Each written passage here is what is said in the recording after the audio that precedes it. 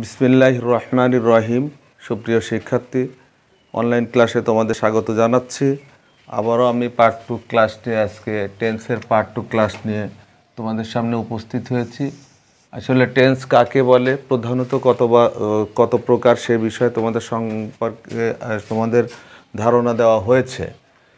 তো এখন গতদিন আমি টেন্সে প্রধানত চার প্রকার, প্রত্যেকটা টেন্সকে আবার চার ভাগে ভাগ, তিন প্রকারের থেকে আবার চার ভাগে ভাগ করা হয়েছে। সে সমস্ত বিষয়গুলো আলোচনা করা হয়েছে। তো আজকে আমি প্রেজেন্ট ইনডিফিনাইট টেন্স নিয়ে আলোপ করব। Present indefinite present indefinite indefinite tense নিয়ে আলোচনা করব। তো আসলে প্রত্যেকটা টেন্স চার প্রকার তোমরা জানো। প্রেজেন্ট পাস্ট ফিউচার তিনটাই হচ্ছে চার প্রকার করে আছে। প্রেজেন্ট ইনডিফিনাইটকে সিম্পল টেন্সও বলা হয়। প্রেজেন্ট কন্টিনিউয়াস আছে প্রেজেন্ট পারফেক্ট আছে প্রেজেন্ট পারফেক্ট কন্টিনিউয়াস টেন্স আছে। তো প্রেজেন্ট ইনডিফিনাইট টেন্স কাকে বলে? সেটা আমাদেরকে আগে ভালো মতো জানতে হবে। যে প্রেজেন্ট টেন্স মানে যে বর্তমানকাল সে বিষয়ে অবশ্যই তোমরা জেনেছো যে এখন কোনো কাজ হইতেছে এই ধরনের হয়ে থাকে, সচরাচর হয়, এগুলি হচ্ছে প্রেজেন্ট টেন্স তো এর ভিতরে প্রেজেন্ট ইনডিফিনাইট টেন্সটা হচ্ছে সেই টেন্স যেই টেন্সটা দ্বারা হ্যাবিচুয়াল ফ্যাক্ট মানে তোমার অভ্যাসগত, যেমন আমি ভাত খাই, সে প্রতিদিন সকালে হাঁটে, সে প্রতিদিন স্কুলে যায় আবার ইউনিভার্সাল ট্রুথ অর্থাৎ চিরসত্য যে বিষয়গুলো, যেমন বলা হচ্ছে পৃথিবী সূর্যের চারদিকে ঘোরে। এটা হচ্ছে বাস্তব কথা, চিরসত্য, এর কোনো ভুল নেই। এই ধরনের কথাগুলি সবসময় প্রেজেন্ট প্রেজেন্ট ইনডিফিনাইট টেন্স হবে। তো শিক্ষার্থী, আসলে দেখো, আবারও বলতেছি, অভ্যাস। যেমন অভ্যাস বলতে বললাম যে, সে প্রতিদিন হাঁটে সকালে। এটা তার অভ্যাস। এটা একসময় নাও থাকতে পারে, কিন্তু এখন তো তার অভ্যাস। তাই এটা হচ্ছে প্রেজেন্ট ইনডিফিনাইট টেন্স যা সচরাচর হয়ে থাকে, হয়। এগুলা প্রেজেন্ট ইনডিফিনাইট টেন্স সে প্রতিদিন সকালে হাঁটে, সে প্রতিদিন চা খায়। এখন সে চা খায় একসময় নাও খেতে পারে, এখন সেটা তার অভ্যাস। আবার চন্দ্র পৃথিবীর চারদিকে একটা অক্ষরেখায় ঘোরে, এটা হচ্ছে বাস্তব কথা, এটা চিরসত্য কথা, এর কোনো ভুল নেই, ঠিক আছে? তো সেই ধরনের টেন্সগুলাই হবে প্রেজেন্ট ইনডিফিনাইট টেন্স তো শিক্ষার্থীরা প্রেজেন্ট ইনডিফিনাইট টেন্সের গঠন আমি নিয়ে আলোচনা করব আগে। এর চারটা গঠন আজকে আমি দেখাবো তোমাদের যে যদি হাঁ বোধক হয়, শুধু হাঁ বোধক সেটা হচ্ছে subject plus verb plus object. এই সিম্পল একটা গঠন। তো আমি এখানে লিখি যে আমি ভাত খাই। আমি ভাত খাই। আমি ভাত খাই। আবার লিখলাম, সে স্কুলে স্কুলে যায় স্কুলে যায়। এই দুইটা বাক্য লিখলাম। দুইটার গঠন একই, কিন্তু একটু ভিন্ন আছে। সে বিষয়ে আলোচনা করব তোমাদের। যেমন আসলে আমাদেরকে সাবজেক্ট চিনতে হবে। এখান থেকে আগে সাবজেক্ট চিনতে হবে। সাবজেক্ট যদি আমরা না চিনি, তাহলে পরে আমরা এর ট্রান্সলেশন করতে পারব না। ইংলিশও আমরা জানতে পারব না। আর ওয়ার্ড মিনিং প্রচুর পরিমাণে জানতে হবে। তো শিক্ষার্থীরা আগেই বলতেছি, যে কোনো কিছু কোনো কাজ করে সেই সাবজেক্ট। এখানে ভাত কে খাচ্ছে? আমি ভাত খাচ্ছি। সেই আমি হচ্ছে সাবজেক্ট। তো বেশিরভাগ জায়গায় আমাদের এই সাবজেক্টটা হচ্ছে বাংলাতে, ইংলিশে সব জায়গায় প্রথমেই থাকে। ব্যতিক্রম হতেই পারে। তো আমি ভাত খাই। সাবজেক্টের পরে ভার্ব আছে। সাবজেক্ট আমি বসিয়ে দিলাম আই। তারপরে বলা হচ্ছে প্লাস ভার্ব এবার ভার্বটা আমি বসাবো। ভার্ব আমাকে চিনতে হবে। এখানে দেখো, বলতেছে আমি ভাত খাই। আগে ভার্ব কি? এটা আমাদের জানতে হবে। তো আমরা এটা বলতে পারবি, বাংলা ক্রিয়া শেষে ভার্ব থাকে। বাংলা ক্রিয়া কাজ করার শেষে, একটা বাক্য শেষ হচ্ছে, তার শেষে ভার্ব থাকে। অর্থাৎ আমরা যে কথার দ্বারা এই কাজটা সম্পন্ন করি, যে কথার দ্বারা এই কাজটা সম্পন্ন করি সেটা হচ্ছে ভার্ব তাহলে এখানে আমি ভাত খাই। এখানে কোন কথার দ্বারা কাজটা সম্পন্ন হচ্ছে? খাওয়ার দ্বারা। অর্থাৎ এই খাই, এই কথাটি হচ্ছে ভার্ব তো আমরা এবার আনি ভার্ব বিডা লেখা হয়েছিল ভার্ব তো আমি ভাত খাই। তাহলে আমরা এখান থেকে শিখলাম যে বাংলা একদম বাক্যের শেষের শেষের শব্দটাই ভার্ব হয়ে থাকে ম্যাক্সিমাম সময়। কিছু সময় ব্যতিক্রম হতেই পারে। আর আমাদের বুঝতে হবে যে কথাটার দ্বারা, যে শব্দের দ্বারা কাজটা শেষ হবে, সেই শব্দটাই হচ্ছে ভার্ব। তো ইংলিশে একরকম, বাংলা সবসময় শেষে থাকতেছে, ইংলিশে সাবজেক্টের পরে আসবে ভার্ব। তো খাওয়ার ইংলিশ কি? ইট। আই ইট ভাতের ইংলিশ, রাইস। এক্সটেনশন, অবজেক্ট না লিখে এখানে আমরা এক্সটেনশন দিতে পারি। এক্সটেনশন মানে সাবজেক্ট, ভার্বের পরে যা থাকবে সবই এক্সটেনশন। তো এখানে আমরা পরে লিখছি সে স্কুলে যায়। তাহলে এখানে আমরা এভাবে দিতে পারি, he go to school, he go to school. কিন্তু এখানে একটু চেঞ্জ আসবে, গোর সাথে ইয়েস যোগ হবে। কারণ হচ্ছে আমাদের এটাও জানতে হবে যে কোথায় ইয়েস যোগ হবে। যদি এই সাবজেক্টটা থার্ড পারসন সিঙ্গুলার নাম্বার হয়, অর্থাৎ তৃতীয় পুরুষ, নাম পুরুষ একজন হয়, একজনকে বোঝায় সে তিন নম্বর। তাহলে সেটাই হয়ে যাবে কি? থার্ড পারসন সিঙ্গুলার নম্বর যখনই হবে তখনই ভার্বের সাথে এস অথবা ইয়েস যোগ হবে। এস অথবা ইয়েস যোগ হবে। আচ্ছা তো শিক্ষার্থীরা, এখানে পার্সন সম্পর্কে আমি একটু ধারণা দিয়ে নিই। কারণ সবই ক্লাসের অংশ, তোমরা যারা দুর্বল তাদের হয়তো অনেক কিছুই মনে নেই। তো আমি এখানে সংক্ষেপে দিয়ে ক্লাস একদিন নিব আমি। আমি, আমরা। আমি আমরা আমি আমরা, এটা হচ্ছে ফার্স্ট ফার্স্ট পারসন তুমি তোমরা তুমি তোমরা, এটা হচ্ছে সেকেন্ড পারসন সে তাহারা কোনো নাম। সে তাহারা কোনো নাম, এটা হচ্ছে থার্ড পারসন তো শিক্ষার্থীরা, এখান থেকে সংক্ষেপে জেনে নাও যে আমি, আমরা। এটা আমরা বুঝলাম যে পার্সনটা কি এখান থেকে ক্লিয়ার যদিও পরবর্তী এক ক্লাসে নিতে চাচ্ছি তাও অনেকটাই ধারণা পেয়ে যাবে। ফার্স্ট পার্সন মানে বক্তা নিজেই কিছু করতেছে। আমার মুখ দিয়ে বের হচ্ছে আমি ভাত খাচ্ছি আমি খেলা করতেছি আমরা স্কুলে যাচ্ছি।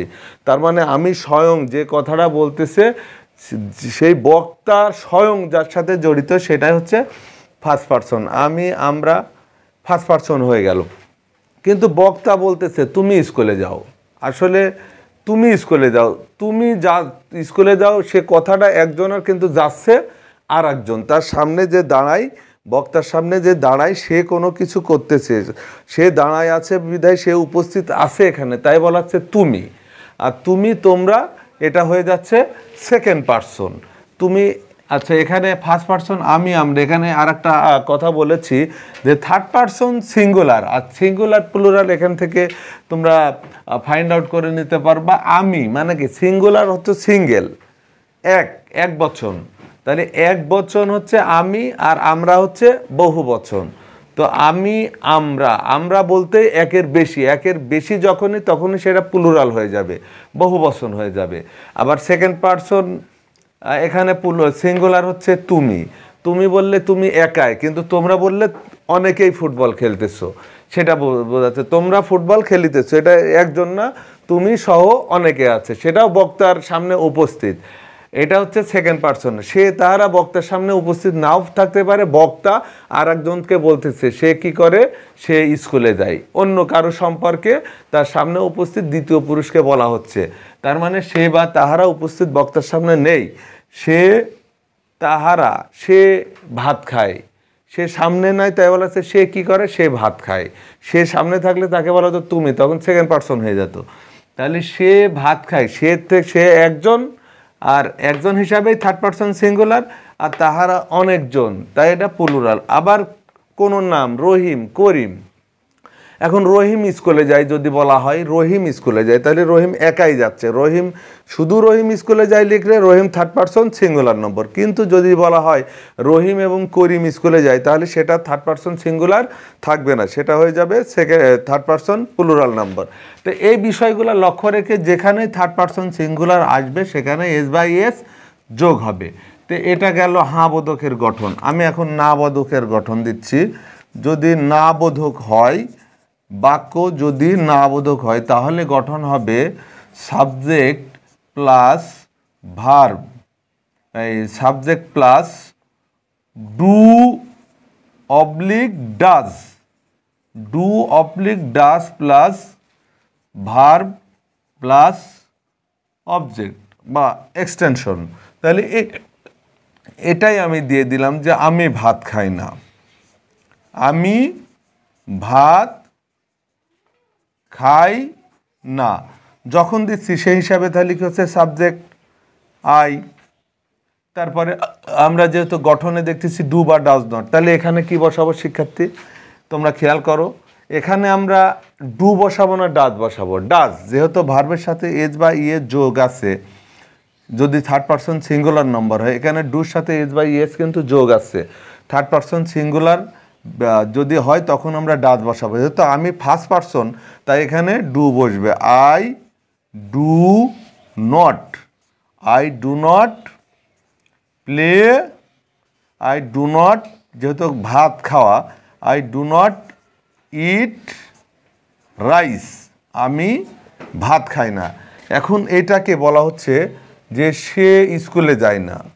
সে স্কুল অথবা বিদ্যালয় স্কুলে আমরা বলি তো স্কুলে যায় না, সে স্কুলে যায় না। তাহলে এখানে যেহেতু সে থার্ড পারসন তাই আমরা এখানে কি করব? আগের মতো হি এবার ডু হবে না ডাজ হবে। যেহেতু third person singular say does not he does not go to go যার হবে না, কারণ সেই গোর সাথে এখানে গোর ইয়েস্টার ডুর সাথে এসেছে, তাই he does not go to school.